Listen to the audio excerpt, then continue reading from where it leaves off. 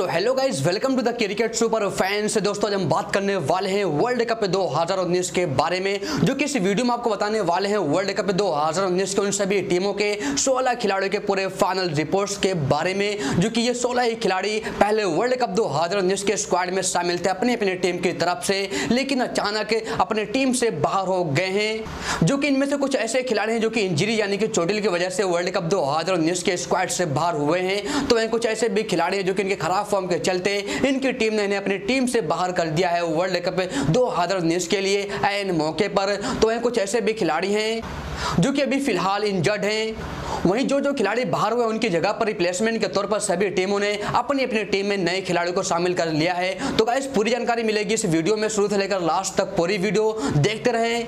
दोस्तों वीडियो में आगे बढ़ने से पहले इस वीडियो के स्पॉन्सर किया है नोस्ट्रा प्रो ऐप ने, जो कि कमाल का ऐप है पावर्ड बाय पेटीएम आप सभी लोग बड़े ही आसानी से पैसे कमा सकते हैं। कुछ इसी और सिंपल क्वेश्चन के जवाब देकर जैसे कि कौन सी टीम जीतेगी, यह मैच कौन सी टीम हारेगी, यह मैच और कौन सी टीम कितना ज़्यादा रन स्कोर करेगी। तो अभी इस ऐप को डाउनलोड करिए, जो कि लिंक डिस्क्रिप्शन में मौजूद है। डाउनलोड करते ही आपको ऑलरेडी सौ रुपये बोनस में मिल जाएँगे। अब दोस्तों, बिना देरी के चलिए बात करते हैं वर्ल्ड कप दो के उन सारे सोलह खिलाड़ियों के फाइनल रिपोर्ट्स के बारे में। अगर हम बात करें सबसे पहले उन खिलाड़ियों के बारे में, जो पहले वर्ल्ड कप दो के लिए अपनी अपनी टीम का हिस्सा थे, लेकिन इंजरी या फिर खराब फॉर्म के चलते उन्हें उनकी टीम ने अपनी टीम से बाहर कर दिया है और उनकी जगह पर दूसरे खिलाड़ी को टीम में शामिल कर लिया है।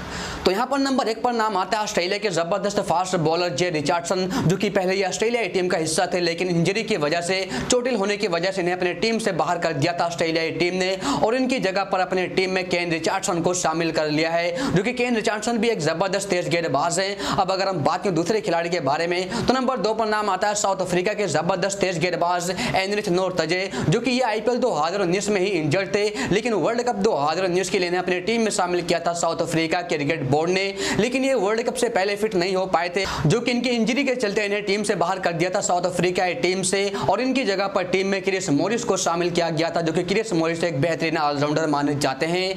अब अगर हम बात करें तीसरे खिलाड़ी के बारे में तो नंबर तीन पर नाम आता है एलिक्स हेल्स का। जी हाँ जो कि पहले ये इंग्लैंड की टीम का हिस्सा थे, जो कि ड्रग्स लेने की वजह से इन्हें अचानक अपनी टीम से बाहर कर दिया था इंग्लैंड क्रिकेट बोर्ड ने। और इनकी जगह पर टीम में जेम्स विंस को शामिल किया है। आपको बता दूँ कि जेम्स विंस भी एक ज़बरदस्त बल्ले बल्लेबाज माने जाते हैं। वहीं अगर हम बात करें चौथे बड़े खिलाड़ी के बारे में तो नंबर चार पर नाम आता है डेविड विले का जो कि इंग्लैंड के एक ज़बरदस्त तेज गेंदबाज माने जाते हैं। लेकिन खराब फॉर्म के चलते इन्हें अपने टीम से बाहर कर दिया था। वर्ल्ड कप दो हज़ार उन्नीस से स्टार्ट होने से जस्ट पहले, और इनकी जगह पर टीम में ज़बरदस्त तेज गेंदबाज, जो फरा आर्चर को शामिल किया गया था।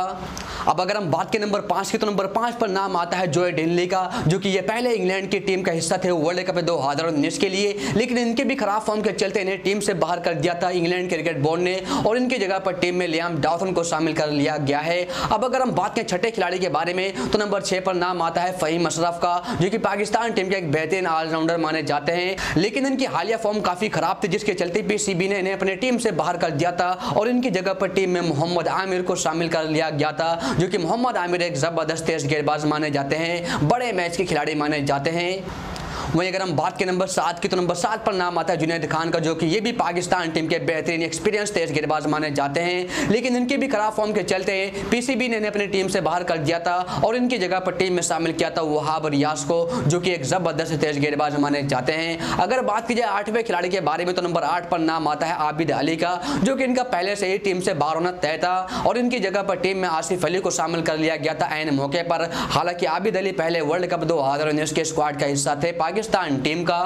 दोस्तों, ये रहे वो आठ खिलाड़ी जो पहले वर्ल्ड कप दो हज़ार उन्नीस का हिस्सा थे अपनी अपनी टीम की तरफ़ से, लेकिन इंजरी या फिर खराब फॉर्म के चलते इन्हें अपनी अपनी टीम से बाहर कर दिया था इनकी टीम ने, और इनकी जगह पर दूसरे खिलाड़ी को टीम में शामिल कर लिया गया था वर्ल्ड कप के लिए। अब दोस्तों, अगर हम बात करें उन और आठ बड़े खिलाड़ियों के बारे में, जो फ़िलहाल वर्ल्ड कप दो हज़ार का हिस्सा है अपनी अपनी टीम की तरफ़ से, लेकिन ये फ़िलहाल चोटिल है इंजर्ड है। तो यहाँ पर नंबर एक पर नाम आता है विजय शंकर का, भारतीय टीम के बेहतरीन ऑलराउंडर जो कि ये पहले वार्म मैच से पहले प्रैक्टिस कर रहे थे, इनके दाएँ हाथ में चोट लग गई थी, जिसके चलते ये वार्म अप मैच में नहीं खेल पाए थे न्यूजीलैंड के खिलाफ।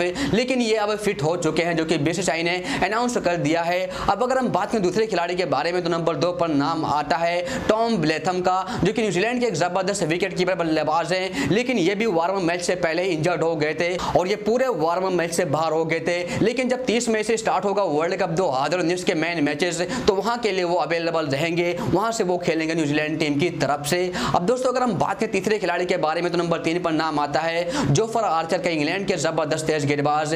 जी हाँ जो कि ये भी वार्म अप मैच में इंजर्ड हो गए थे। तो वहीं इंग्लैंड के दूसरे तेज गेंदबाज मार्कोट, जो कि ये भी पहले वार्म अप मैच में इंजर्ड हो गए थे, जो कि जोफरा आर्चर और मार्कोट, ये दोनों ही खिलाड़ी इंजर्ड हैं चोटिल हैं। लेकिन इसी भी यानी कि इंग्लैंड क्रिकेट बोर्ड ने कह दिया है कि ये दोनों ही खिलाड़ी की चोट ज़्यादा गंभीर नहीं है। ऐसे में ये वर्ल्ड कप दो हज़ार के जब मैन मैचेस स्टार्ट होंगे तो पहले मैच में इंग्लैंड के लिए अवेलेबल रहेंगे। अब अगर हम बात करें पाँचवें खिलाड़ी के बारे में तो नंबर पाँच पर नाम आता है योन मार्गन, जो कि इंग्लैंड के ज़बरदस्त कप्तान और बैट्समैन, जो कि ये भी पूरी तरह से इंजर्ड हैं, काफ़ी ज़्यादा गंभीर यानी कि चोट है। ऐसे में ये वार्म मैच से बाहर हो गए हैं, लेकिन जब वो वर्ल्ड कप दो हज़ार उन्नीस के मैन मैच से स्टार्ट हो जाएँगे तीस मई से तो वहाँ जब इंग्लैंड का पहला मुकाबला खेला जाएगा, उस मैच के लिए अवेलेबल रहेंगे, वहाँ पर वो फिट हो जाएँगे। तो इसके बाद नंबर छह पर नाम आता है इंग्लैंड के ही बेहतरीन ऑलराउंडर लियाम दाउसन जो कि ये भी वार्म अप मैच में इंजर्ड हो गए थे। लेकिन इंग्लैंड क्रिकेट बोर्ड ने बता दिया है कि इनके चोट ज़्यादा गंभीर नहीं है। ऐसे में ये भी अवेलेबल रहेंगे। जब वर्ल्ड कप दो हज़ार उन्नीस के मैन मैचेस यानी कि ग्रुप स्टेज के मैच स्टार्ट होंगे। अगर बात कीजिए नंबर सात की तो नंबर सात पर नाम आता है इंग्लैंड के ही बेहतरीन स्पिनर आदिल रशीद का, जो कि इनके कंधे में चोट आ गई थी, जो कि कंधे में खिंचाव आ गए थे, जिसके चलते ये वार्म अप मैच में बॉलिंग भी नहीं करा पाए थे। ऐसे में ये भी फिट हो जाएँगे। जब ग्रुप स्टेज के मैच स्टार्ट हो जाएँगे वर्ल्ड कप दो हज़ार उन्नीस के। अब दोस्तों, अगर हम बात करें आठवें और आखिरी खिलाड़ी के बारे में तो नंबर आठ पर नाम आता है उस्मान ख्वाजा का, ऑस्ट्रेलिया के ज़बरदस्त बल्लेबाज, जो कि इन्हें भी चोट लग गई थी प्रैक्टिस मैच में, लेकिन अब ये भी फिट हो चुके हैं। तो गैस ये रहो उन सभी खिलाड़ियों की पूरी कंफर्म फाइनल रिपोर्ट्स तो गैस फ़िलहाल इस वीडियो में बस तने अगर आपको हमारी वीडियो अच्छी लगी तो लाइक करें शेयर करें। कमेंट बॉक्स में अपने विचार, अपने राय ज़रूर दें। वहीं चैनल को भी सब्सक्राइब कर लें, क्योंकि इसमें आपको मिलने वाली है हर एक न्यूज़ सबसे पहले।